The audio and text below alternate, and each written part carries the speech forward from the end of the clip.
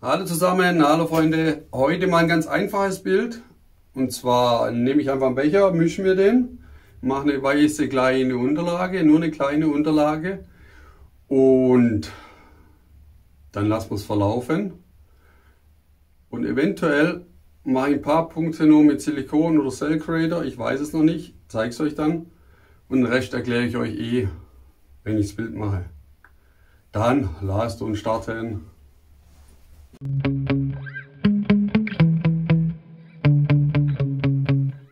So Freunde, ich habe hier den Becher, was ich für Farben habe, und zwar Ultramarinblau, Naturgrau, mal sehen wie es wird, Permanent Gelb Dunkel und Reflektionspink oder Neon.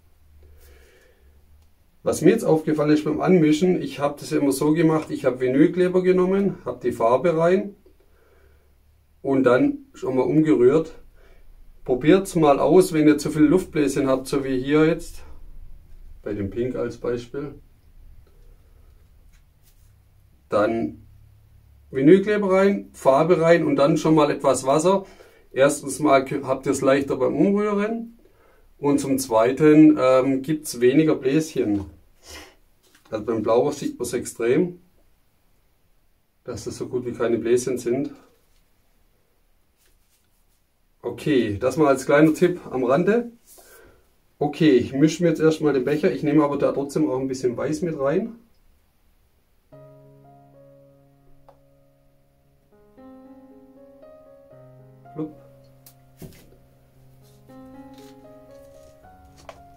Mische mir den langsam den Becher.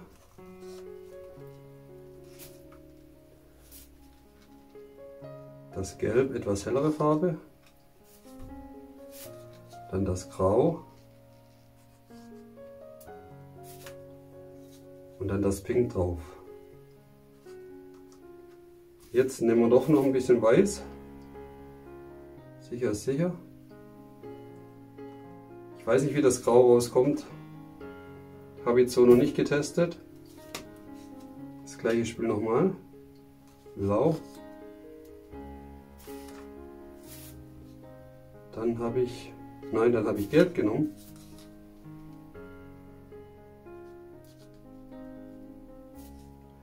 Dann Grau.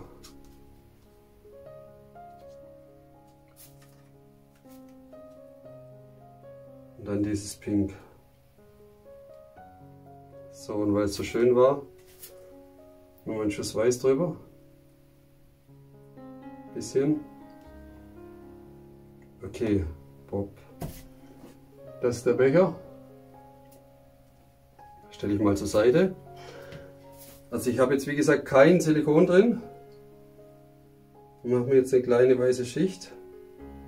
Wie gesagt gar nicht bis zum Rand, es geht einfach nur damit es besser verläuft.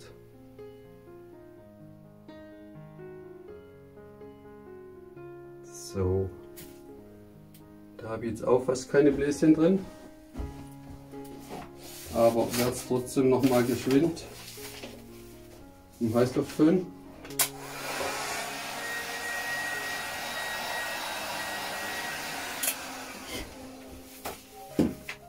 Also ist ja gerade wichtig, die Bläschen, dass wenn man ohne Silikon macht, dass man nicht so viel Luftbläschen hat. Ganz vermeiden lässt sich nicht. Aber man sieht es halt dann immer ein bisschen noch. Okay, das müsste jetzt eigentlich schon reichen.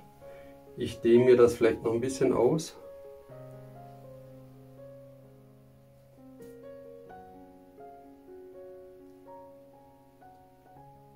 Damit ich es nachher nicht ganz so arg laufen lassen muss. Dann vielleicht kennt ihr vielleicht ja auch einfach ein bisschen die Kanten, damit es dann nachher besser drüber läuft.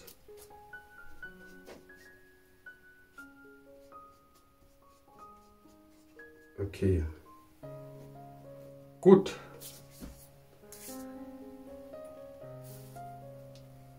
Dann könnt ihr das natürlich laufen lassen, wie ihr möchtet. Ich schwenke das mal immer ein bisschen hin und her oder ich schaue mal, was ich mache.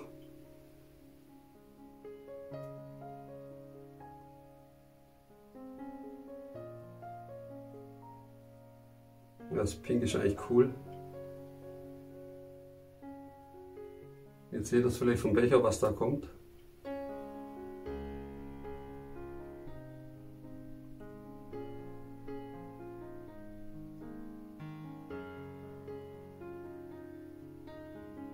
Da kriegt er halt schöne Strukturen rein.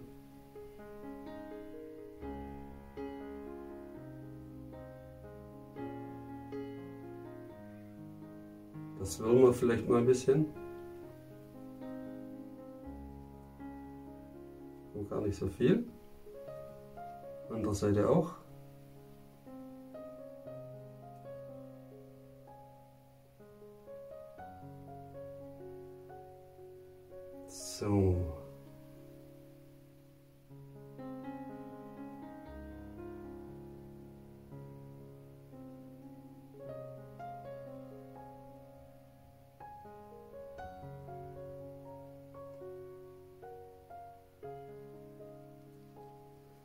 Das nochmal diagonal.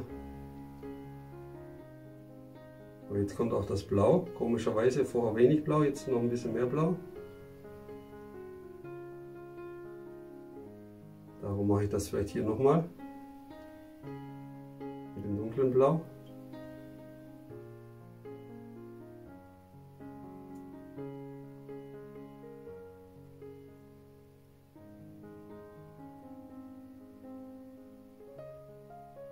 Den Rest der Farbe verteilen wir ein bisschen.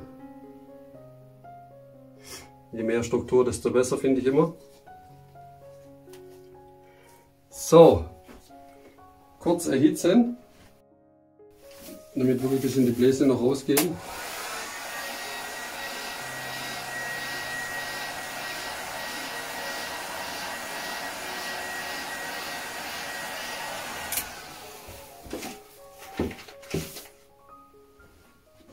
Jetzt sage ich halt immer, laufen lassen, bis es einem gefällt. Natürlich Geschmackssache, aber ihr seht im Prinzip ganz easy.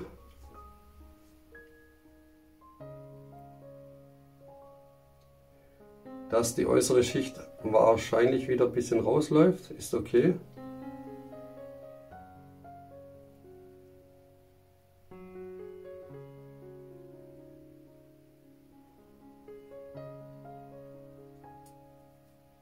Dehne mir das jetzt erstmal alles schön auseinander.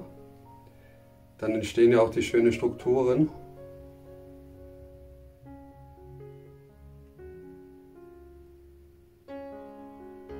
Und dann lassen wir es hier gleich mal drüber laufen.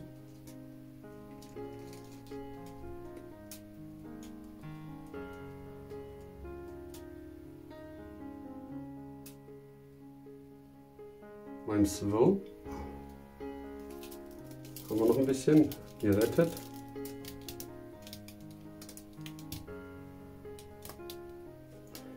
Dreh es mal wieder um, damit ihr seht.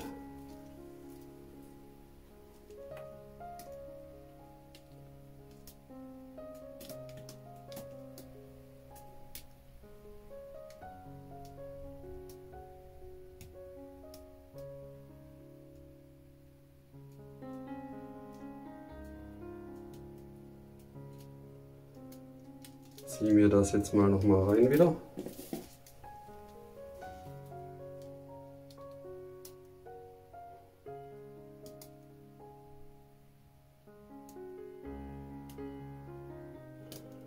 Ah, gibt ein recht wildes Bild, sehe ich gerade.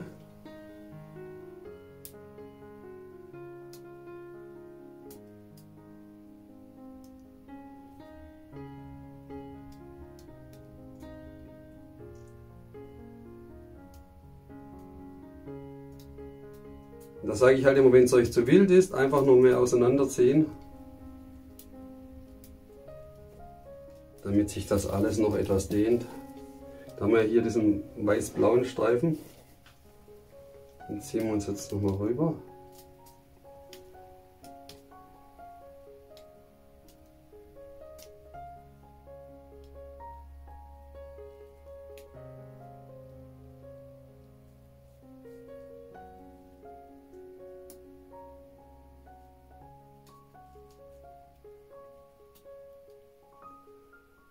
So, also lasse ich es gerade, haben wir den Strich hier.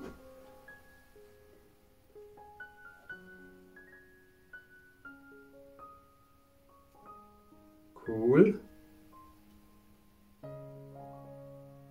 So, ein recht wildes Bild, wie gesagt.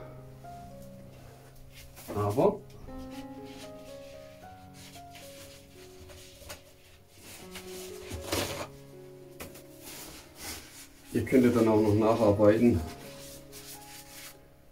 Das probiere ich jetzt nämlich auch Spachtel.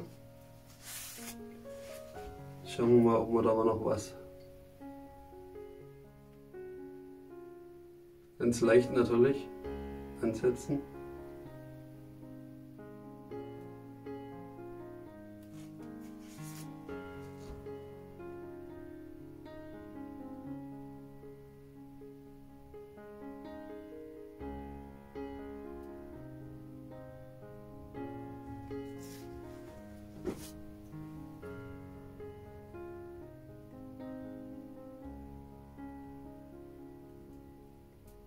Ansonsten gefällt mir das eigentlich. Hier ist etwas nach links gebogen.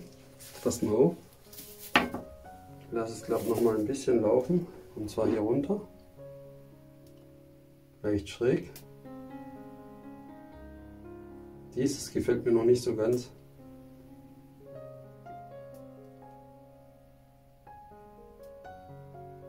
Das lasse ich jetzt einfach verschwinden und ziehe es mir jetzt nochmal nach oben.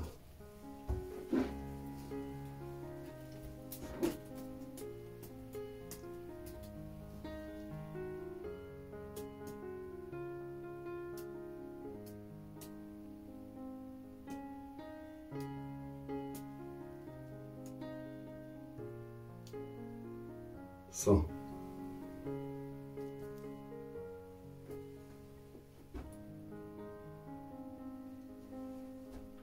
Okay. Schöne Strukturen. Jetzt schaue ich vielleicht mal, ob ich vielleicht vereinzelt Punkte setze mit Silikon. Oder komme ich in den Cell Creator, egal. Dann müssen wir mal schauen, ob es überhaupt funktioniert. Ich nehme jetzt den Cell Creator, habe hier so einen kleinen Becher, ne? Und aufbekommen muss ich ihn auch. Oh.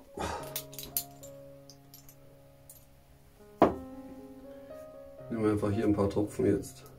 2, 3, 4. Ist egal, Hauptsache ich habe was zum eine Flüssigkeit drin zum Aufnehmen und nehme ein kleines Stäbchen noch.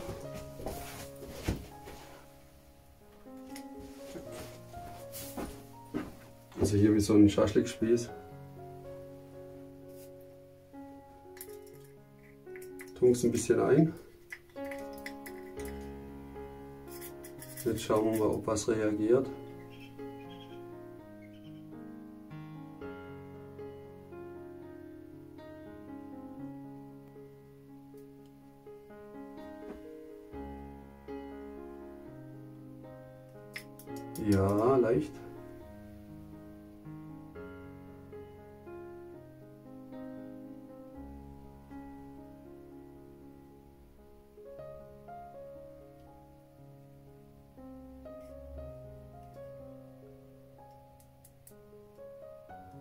Aber gar nicht so viel, es soll ja nur Akzente sein. Akzente setzen, da wo es mir vielleicht von Farbton nicht so gefällt. Aber wenn das nachher aufgeht,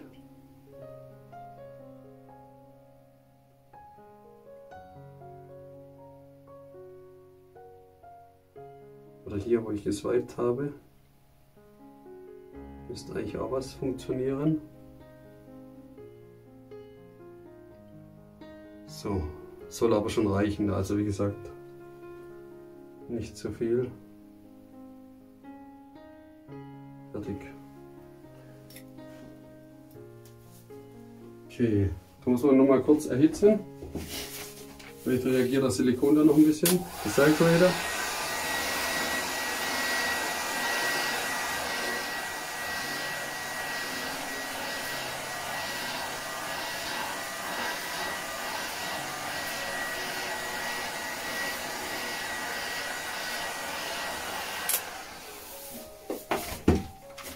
Okay.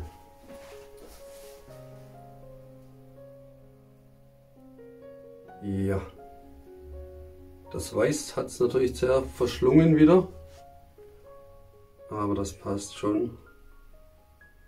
Okay, dann würde ich sagen, ich lasse es mal einwirken für 10 Minuten wieder. Dann seht ihr einfach auch mal, wie das noch nachgearbeitet hat. Und dann würde ich sagen, bis gleich. Also jetzt einfach mal was anderes. Buntes Bild, aber schöne Strukturen, verschiedene. Okay, dann bis gleich.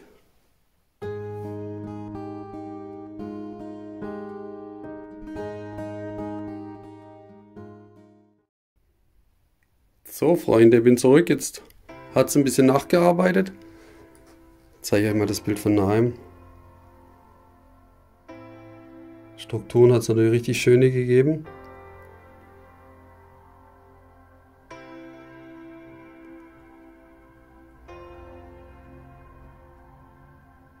Hier in der Mitte die Zellen. Wir haben mal ein bisschen Schimmelpilz drauf. Aber ihr seht auch, wie sie noch ein bisschen nachgearbeitet haben. Dann müssen wir einfach mal schauen, wie es dann trocken aussieht.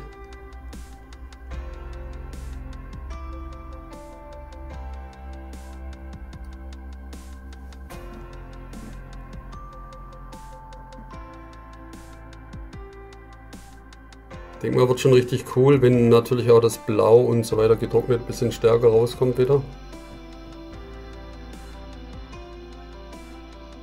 Aber allein von den Strukturen. Wie gesagt, ein wildes Bild diesmal.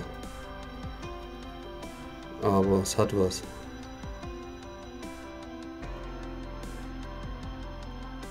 Okay. Ich denke mal getrocknet wieder auf Instagram. Wird mir nicht reichen, bis ich das Bild einstelle. Dass es trocknet. Und dann würde ich sagen, bis zum nächsten Mal. Danke euch fürs Zuschauen. Ich hoffe, euch gefällt's. Schreibt es gerne in die Kommentare und dann bis demnächst. Tschüss.